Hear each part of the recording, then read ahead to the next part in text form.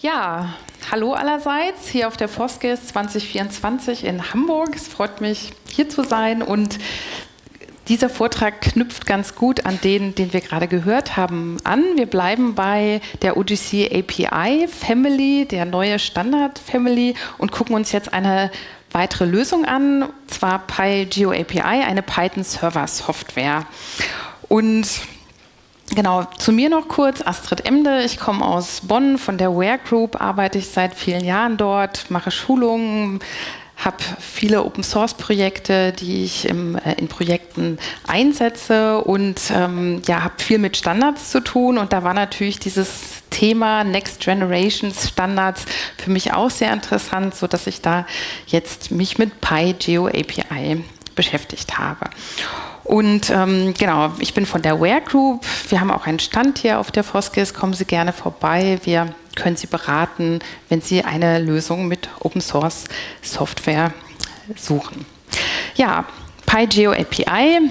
Ich bin jetzt keine Entwicklerin des Projektes. Ich bin interessiert und habe mir über dieses Projekt die neuen Standards angeschaut und ähm, habe gesehen, dass dieses Projekt auf vielen internationalen Konferenzen vertreten ist, dort Workshops hält und ähm, war auch auf der letzten Phosphagie bei einem Workshop und daraus heraus habe ich gedacht, Mensch, jetzt stelle ich das doch mal auf der Foskis vor und ähm, bringe die Software auch zu uns. Eine Frage in die Runde. Wer von euch oder von Ihnen nutzt PyGeo API schon? Okay, zwei Hände gehen hier hoch von, ich würde sagen, ein paar hundert, die jetzt hier sitzen. Ähm, genau, das heißt, da ist noch Potenzial und ähm, ich hoffe, dass der Vortrag da hilft, das Projekt spannend zu machen. Ja, das wurde 2018 gegründet vom Tom Kralidis. Das ist jemand, der im OSGeo-Board ist und der schon ganz lange in der OSGeo-Community unterwegs ist, auch beim Map-Server-Projekt beispielsweise mitmacht. Und er hat es am Valentines Tag mit Herz und Liebe angefangen, das Projekt, und war am Anfang Einzelkämpfer und hat jetzt aber eine größere Community äh, und Mitstreiter und Streiterinnen gefunden. 2022 ist das Projekt dann OSGeo-Projekt geworden. Für die, die das nicht kennen, das heißt, dass man so ein Inkubationsprojekt durchläuft und ähm, zertifiziert wird und quasi in die OSGeo, in die Open Source Software Foundation ähm, aufgenommen wird, wie zum Beispiel PostGIS, QGIS, GeoServer, MapServer, ganz viele andere Projekte auf. Es ist unter der MIT-License das Projekt. Und äh, wir werden gleich sehen, diverse OGC API-Standards wurden äh, umgesetzt, sind compliant und sind teilweise auch Referenzimplementierungen. Und ähm, es ist so, dass die Anforderungen von den neuen Standards, die werden ja laufend weiterentwickeln, die werden direkt im Projekt umgesetzt. Wenn wir hier auf den nächsten Link gehen, da sehen wir auch, das Projekt ist beim OGC quasi registriert und ähm, da kann man sich weitere Informationen dann auch anschauen, wie das Projekt eingebunden ist. Im Moment haben wir die 016er Version, die kam erst vor einigen Wochen heraus und da habe ich auch hier nochmal den Link eingefügt. Ja, hier das ist das PyGeo API Team, nicht ganz komplett, aber da sieht man ein paar Player. Hier, ähm, das ist der Tom Kranidis aus Kanada, der das Ganze ins Leben gerufen hat. Und das ist wirklich ein internationales Team, was da aktiv ist. Und ähm, auch über den Link, den ich eingebaut habe, kann man auch sehen, dass da sehr viele Beitragende mit dabei sind. Ja, die ähm, Entwicklung ist an Sprints orientiert. Es gibt mehrmals im Jahr gibt es so Code Sprints, Community Sprints. Vor ein paar Wochen war erst der Joint Code Sprint von OSGeo, Apache Software Foundation und dem OGC. Da wird an den Standards gearbeitet und es wird dann direkt versucht, die ähm, Neuerungen auch in die Software einzubauen. Ja, so dass es da einen sehr engen Austausch gibt zwischen Softwareentwicklern und dem OGC. Und das ist auch was, das, was jetzt mit dieser neuen OGC API Family so eine Errungenschaft ist, die dort sich entwickelt hat. Genau, also Tom Kralidis und der Angelos Chochos, der jetzt hier nicht drauf sind, das sind beides OSGeo Board Member, die sind auch im OGC und über die OSGeo kann man auch ähm, beim OGC Mitglied werden. Das haben wir einen Partnervertrag ähm, aufgebaut, sodass wer da Interesse hat, gerne da auch nochmal auf mich zukommen kann. Und ja, jetzt schauen wir uns die Software ein bisschen näher an. Ähm, genau, wenn wir über die neuen Standards reden, dann ist REST, JSON, OpenAPA und äh, Swagger, hatten wir eben schon gehört. Das sind auf jeden Fall ähm, Komponenten, die hier wichtig sind. Und wir haben ein Core mit abstrakter API. Ähm, da ist auch ein äh, agnostischer Client eingebaut. Also da ist der Default ist Flask, in dem das umgesetzt wurde, aber der kann auch ausgetauscht werden, so dass ich zum Beispiel auch eine andere Umsetzung da nutzen könnte und in Django beispielsweise so einen äh, Client äh, programmieren könnte. Dann ist das ganze Plugin orientiert. Das heißt, ich kann für verschiedene Datenquellen beispielsweise auch eigene Plugins ähm, erstellen. Das sehen wir später noch. Die Konfiguration, die ähm, PyGeo API benötigt, die erfolgt in YAML. Da schauen wir auch gleich einmal rein, wie das aussehen kann. Dann werden Open API-Dokumente und die Datenverknüpfungen, die werden dann automatisch aus den Konfigurationen erzeugt. Und ein Feature, was zum Beispiel dann diesen neuen Standards auszeichnet, das ist, dass die über Suchmaschinen findbar sind. Ähm, ja. Ja, die Installation ist auch unkompliziert. Da gibt es verschiedene Wege. Da gibt es auch eine Seite, die sich mit der Installation beschäftigt. Das Projekt ist auch auf der OSGeo Live, wer das da direkt ausprobieren möchte. Und ansonsten gibt es hier diese Möglichkeiten. Ja, und dann gibt es eine sehr schöne Demo. Und ähm, die Demo, da kann man sich direkt auch den Code unter GitHub anschauen, sodass man sieht, dass das, was in der, in der Demo zu sehen ist, welche Konfiguration entsprechend dahinter steckt. Ja, schauen wir hier nochmal uns die OGC API Family an. Wenn ich da mal auf der Seite schaue, dann sehen wir, haben wir hier sehr viele Standards, die ähm, gerade diskutiert werden. Das sind hier 16 Stück. Und da kann man sich zu jedem Standard auch anschauen, wie gerade der Status ist. Und wir haben eben gesehen, da war auch ein Link zu GitHub, sodass man das hier sehr gut verfolgen kann. Und man sieht dann auch, in welchem Status gerade die einzelnen Teile sind, die so einen Standard dann aufbauen. Gut. Und wenn wir jetzt dann schauen, wie der Stand bei PyGeo API ist in der Umsetzung, sehen wir, dass hier acht ähm, Standards ähm, bearbeitet werden oder in Umsetzung sind. Und an der Grafik hier unten sehen wir, dass genau die Umsetzungen OGC compliant sind und dass das Projekt auch für einige von den Standards eine Referenzimplementierung ist. Für OGC ähm, Features, API Features, OGC API EDR und OGC API Tiles. Ja, und wie können wir jetzt ähm, Datenquellen anbinden? Das geht via Plugins, hatte ich schon angesprochen. Da gibt es für Feature, also für Vektordaten, diverse Datenquellen, die wir hier nutzen können. Elasticsearch, PostgreSQL Postgis, CSV, GeoJSON, OGR, MongoDB und so weiter. Und über OGR, wer schon mit OGR zu tun hatte, der wird wissen, dass darüber sehr viele Vektordaten dann auf einen Schwung zur Verfügung stehen und äh, so ähm, das Projekt auf jeden Fall sehr viele Vektordaten bedienen kann. Bei Coverages haben wir X-Array und Rasterio und auch GEDAL. Und bei Tiles haben wir diverse Unterstützungen. Bei Records, Elasticsearch und TinyDB. Und wir werden gleich auch noch was über Facetten hören. Und das Ganze ist aber auch noch erweiterbar. Das heißt, ich kann mein eigenes Plugin entwickeln. Das kann ich dann auch dem Team vorstellen. Das kann dann womöglich auch in den Core übertragen werden oder kann eigenständig als ähm, separates Plugin weiterleben. Dann gibt es eine Galerie, die kann man sich anschauen und da sehen wir, wo die Software schon im Einsatz ist und kann sich entsprechend hier diese Lösungen dann anschauen. Und äh, das kann man im Nachgang dann in Ruhe sich mal anschauen. Zwei recht neue Projekte, das sind hier diese spanischen Projekte, da habe ich auch noch mal die Links separat eingefügt. Die ähm, sind jetzt erst im letzten Jahr hinzugekommen. Und da genau sehen wir jeweils dann die Kollektionen. Wir sehen, dass es hier OGC API Feature Dienste sind und könnten uns dann entsprechend die einzelnen Feature anschauen. Das machen wir gleich noch für ein anderes Thema. Ja, und zwar, genau, haben wir, gucken wir erstmal auf jeden der einzelnen Standards und schauen uns das ein bisschen im Detail an. Wir haben hier bei den Kollektionen ähm, eine Landingpage, über die wir dann zu den Kollektionen kommen und im, Endeffekt zu jedem einzelnen Item. Das ist hier so ein Demo-Datensatz, den wir über die Demo-Seite gleich uns anschauen können und da werden wir die verschiedenen Bereiche uns nochmal anschauen. Mm, genau, das heißt, OGC API Features übernimmt die Aufgaben, die ja vor der WFS gemacht hat. Wir können Daten abfragen, erzeugen, wir können die auch verändern oder auch löschen. Und ähm, jedes Feature in so einer Kollektion hat eine eindeutige Adresse. Das ist hier unten zu sehen. Da ist jedes Item über die ID dann eindeutig referenzierbar. Und wie wir eben schon in dem Screenshot gesehen haben, haben wir eine HTML-Anzeige mit Karte und können auch die Sachdaten uns anzeigen lassen. Und auf der anderen Seite haben wir aber auch die JSON-Anzeige. Wir haben Paging, wir haben diese ähm, Suchmöglichkeit nach den ähm, Datensätzen und wir haben diese verschiedenen ähm, Parts des Standards, die entsprechend schon umgesetzt wurden.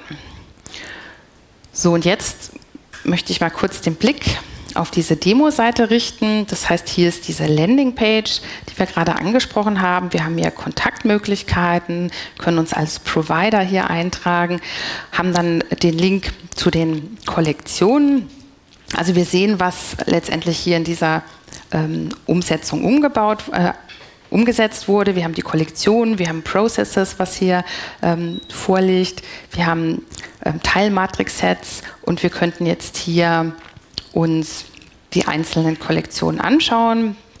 Da haben wir hier beispielsweise diese Lakes, die wir gerade gesehen haben, haben hier die Bounding Box zu dem Thema und können dann entsprechend die einzelnen Datensätze hier abfragen und ähm, haben dann die Bounding Box zoomen zu dem Feature und haben entsprechend dann noch Attributdaten, die hier zur Verfügung stehen.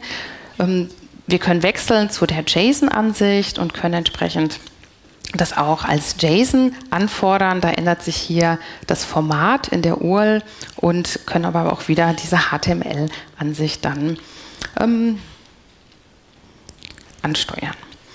Genau, wenn wir dann schauen, wie das Ganze konfiguriert ist, springen wir jetzt hier einmal in diese YAML-Datei, von der ich gesprochen habe.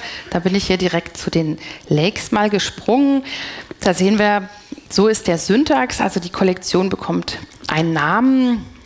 Sie ist vom Typ Collection. Ich kann dann einen Titel, eine Beschreibung, ich kann Keywords vergeben. Ich kann dann entscheiden, äh, äh, also angeben, in welcher Projektion die Daten vorgeben, äh, vorliegen. Ich kann Links hinzufügen und ähm, genau kann dann bestimmen, welchen Extent die Daten haben eine Bounding-Box angeben und ähm, dann auch die Projektion, das sind hier immer so Links, die man eingibt, kann ich entsprechend auch die Projektion angeben.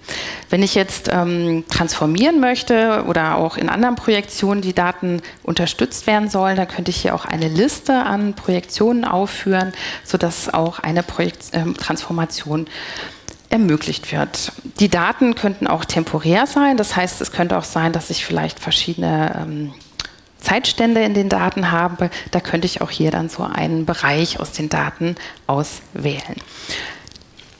Genau, dann ähm, genau, kommt der nächste Part. Ich muss sagen, wo kommen denn die Daten her? Das sind dann diese Provider, äh, die Plugins quasi, die dann hier ähm, zum Tragen kommen. Da ist es vom Typ Feature der Provider, den ich nutzen möchte und ähm, habe hier GeoJSON und verweise hier in diesem Fall auf die Daten und gebe noch die eindeutige ID an.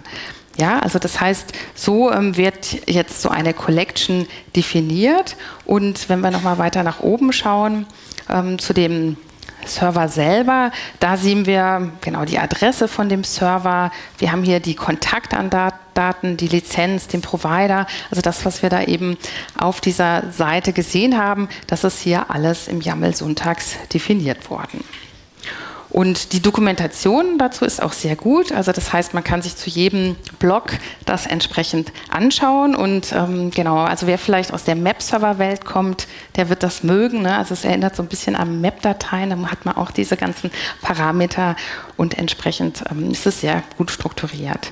Genau, wir hatten schon eben CRS, hatte ich angesprochen. Das heißt, es kann sein, dass ich hier verschiedene Projektionen unterstützen möchte.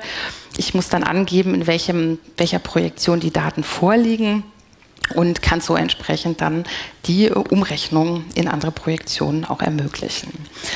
Genau, die CSS, CRS-Angaben sind in den Metadaten und auch für die Daten werden die definiert und manche Feature-Provider machen die Umrechnung dann ähm, selber, wie zum Beispiel OGR oder PostGIS und für manche ähm, Datenprovider, für CSV oder so, wird dann die Umrechnung von PyGeo API durchgeführt.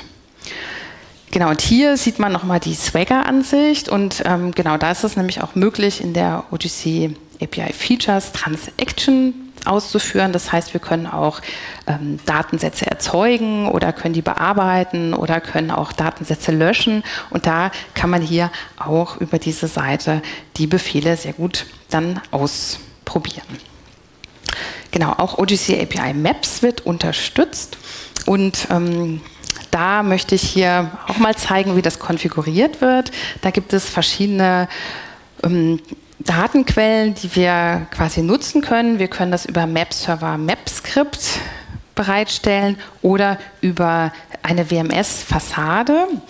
Und ähm, da sehen wir jetzt hier einmal die Ansicht, wie es in Maps, mit MapScript wäre. Das heißt, wir haben hier eine Data-Angabe, wo die Daten liegen, haben den Type Map und ähm, können hier jetzt noch verschiedene Optionen setzen. Das sind hier Point, äh, Punktobjekte in diesem Fall. Das ist der Name von den Layer und hier verweisen wir auf ein SLD für das Styling.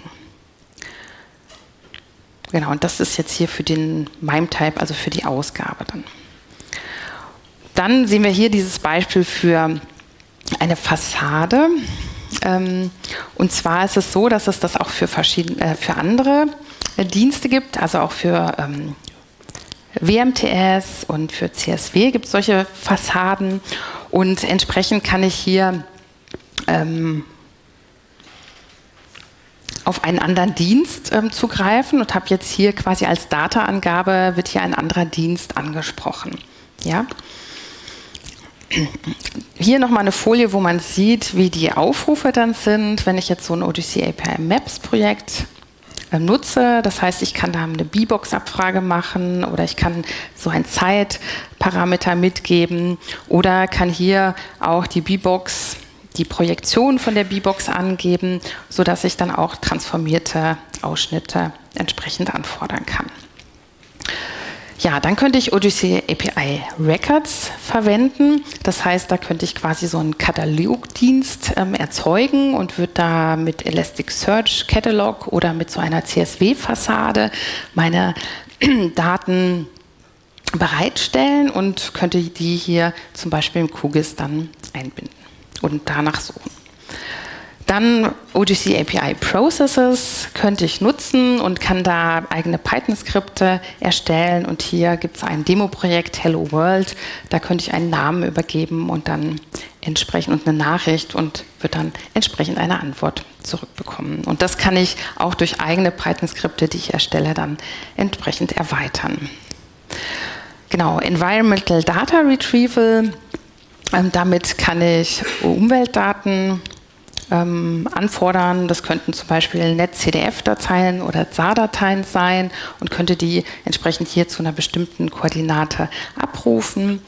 Oder auch Stack wird unterstützt. Da könnte ich zum Beispiel CRIP2, also solche Wetterdaten, anfordern und ähm, genau, habe hier noch einen weiteren Standard. Mm, es gibt auch diverse Service Provider, die unterstützen würden beim Umstieg auf PyGeo API. Es ist auch ein sehr offenes Projekt, wo man auf jeden Fall ähm, ja, eingeladen ist, auch mitzumachen. Und was ich noch sehr empfehlen kann, hier gibt es einen Workshop. Ähm, das ist über Docker wird der installiert und da gibt es ganz schöne Beispiele, über die man dann die einzelnen Standards sich auch anschauen kann. Ja, und dann genau gibt es hier noch verschiedene Kommunikationswege mit dem Projekt, Mailingliste, Chat und auch Meldungen auf Social Media. Und ja, damit möchte ich auch zum Ende kommen. Ich hoffe, es war ähm, ja, waren ein paar Anregungen dabei, Ideen und ähm, auf jeden Fall hoffe ich, dass es Lust gemacht hat, dieses Projekt sich mal genauer anzuschauen. Es gibt da auf jeden Fall noch ganz viel zu entdecken. Es ist gut dokumentiert, es gibt tolle Demos und Workshop-Unterlagen und es ist auf jeden Fall auch ein guter Einstieg, um sich mit dem Thema, mit den neuen OGC Standards zu befassen. Ja, im Juli ist dann die Phospho-G in Tatu. Da gibt es auch wieder einen Workshop von dem Team. Wer da die Möglichkeit hat zu kommen, ähm, das lohnt sich sicherlich. Und ansonsten danke ich für die Aufmerksamkeit und ja.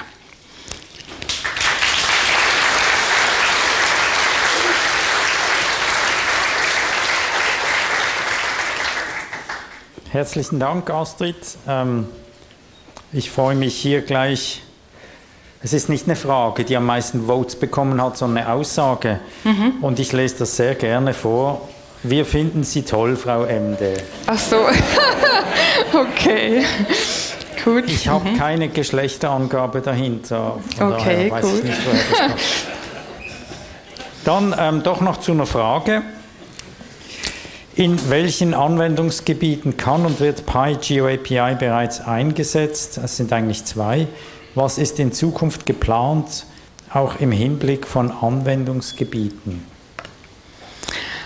Genau, ich hatte ja schon angesprochen, dass ich da jetzt nicht äh, keine Entwicklerin bin, sondern dass das Projekt eher so verfolge. Und ähm, ja, also ich weiß, dass der Tom Kralides, der arbeitet in Kanada und hat viel mit Wetterdaten zu tun. Und die nutzen das halt in ihrem Stack und nutzen das produktiv, um ja die Wetterdaten beispielsweise da ähm, zu veröffentlichen. Ne? Und ähm, ich denke schon, dass der Ehrgeiz von dem Projekt ist, alle Standards umzusetzen und da am Ball zu bleiben. Also die sind auf jeden Fall sehr, sehr engagiert. Ne? Und es ist auch so, dass es da eine ganz große Schnittmenge auch zu anderen Projekten gibt aus der USGEO und da auch die USGEO-Projekte an sich sehr, sehr aktiv sind, ne? jetzt die neuen Standards umzusetzen.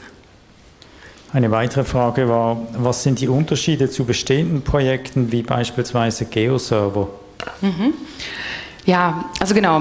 Letztendlich, wenn man jetzt schon so einen Stack hat und hat den Geo-Server im Einsatz oder QGIS-Server oder Map-Server, dann ähm, genau gibt es dort auch ähm, Umsetzung der Standards, also auch bei allen drei Projekten ist auch OGC API Features zum Beispiel umgesetzt und kann auch mit, mit der bewährten Software ähm, genutzt werden. Aber ja, dieses PyGeo API-Projekt zeichnet sich schon sehr da aus, dass die sehr eng mit dem OGC da zusammenarbeiten und ähm, ja, da bei der Standardentwicklung auch vorne dabei sind. So würde ich es formulieren.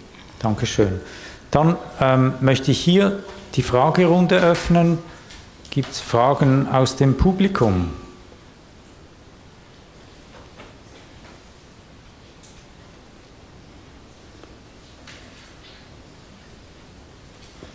Das ist eine Frage.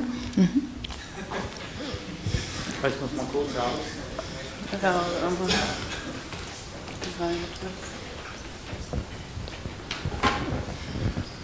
Ja, hallo. Äh, wenn ich das eben richtig gesehen habe, ähm, ist ähm, dort auch schon die, äh, der Part 4 von der ähm, OGC ähm, API Features umgesetzt. Ist das richtig? Also wenn man die... 4, ja, genau. Mhm, das ist schon soweit umgesetzt, ja. Obwohl das noch Draft ist? Also, also die, das Team versucht schon immer so nah wie möglich dann auch ähm, das umzusetzen, was quasi jetzt schon da entwickelt wird. Ne? Also es, mhm. ist, ist das der einzige, der einzige Server, der das hat bisher? Oder gibt es noch andere Implementierungen? Vielleicht ja, weiß das was ja jemand anders. Dazu? Keine Ahnung. Also ich, da, bei diesen Sprints sind halt auch noch andere Projekte immer vertreten und ähm, ich weiß jetzt aber nicht genau, inwieweit GeoServer zum Beispiel auch immer versucht, da am Ball zu bleiben, aber ich weiß nicht. Genau, der Pirmin Kalberer, der ist ja auch sehr hinter dir? Oder, ja, also ich wollte selber sagen, ich habe das auch mal ausprobiert mit dem Part 4 und es, meines Wissens geht es nicht mit PostGIS, sondern nur mit einer anderen Datenquelle, die ich sehr exotisch fand. Mhm. Also es geht an sich schon, aber eben noch nicht mit einer Datenquelle, die ich eben häufig benutzen würde. Mhm, das ist mein okay, letzter danke. Stand, da müsste man vielleicht auch immer nochmal verifizieren. Mhm, danke. Ähm, ich wollte noch dazu sagen, dass äh, PyGeo API quasi die OGC-Referenzimplementation für einige äh, Standards ist. Das heißt, die implementieren bereits, bevor der Standard da ist. Also das ist auch ein Fortschritt, dass mit der Standardisierung auch schon eine Implementation mitentwickelt wird. Und jetzt weiß ich nicht, in, in welche, also in anderen Teilen sind andere Projekte führend und Referenzimplementationen, zum Beispiel LD-Proxy mhm. hat für gewisse ähm, Standards, ist da an der Front und umsetzt schon die Entwürfe um. Mhm. Aber jetzt sagen wir, Geoserver und so, das sind dann eher die, implementieren dann die fertigen Standards. Mhm, genau, so also würde ich sagen.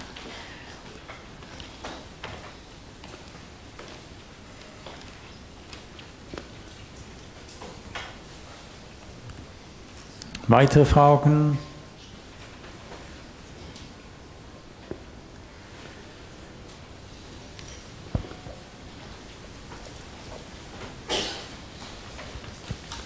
Hallo. Hallo.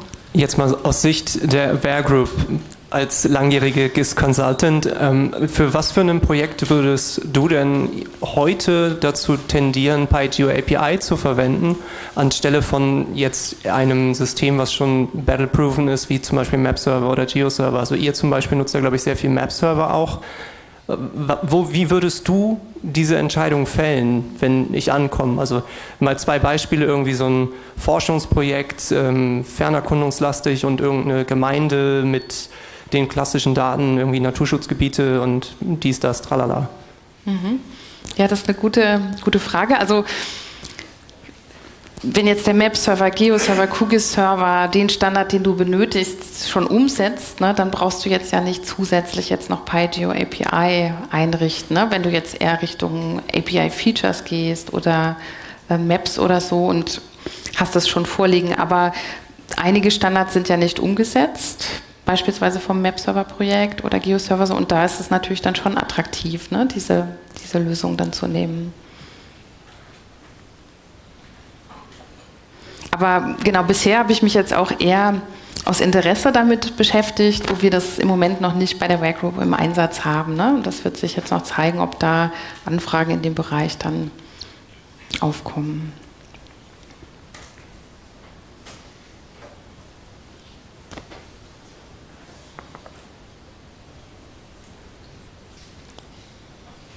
Da oben ist noch eine Frage? Oder? Nein, ich glaube, da winkt nur jemand. Da winkt jemand?